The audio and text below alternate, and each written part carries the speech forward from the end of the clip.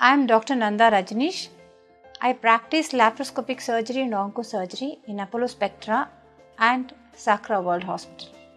Any breast cancer, when the tumor is removed, we study on the cells of the cancer, the receptors, that is, estrogen receptors, progesterone receptors, and Herceptin receptors.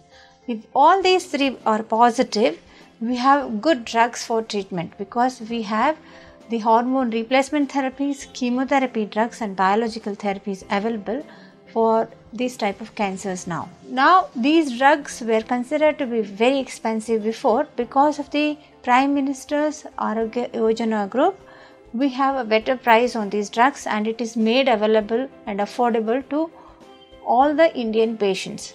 So the prognosis of the triple positive breast cancers is much better compared to olden days.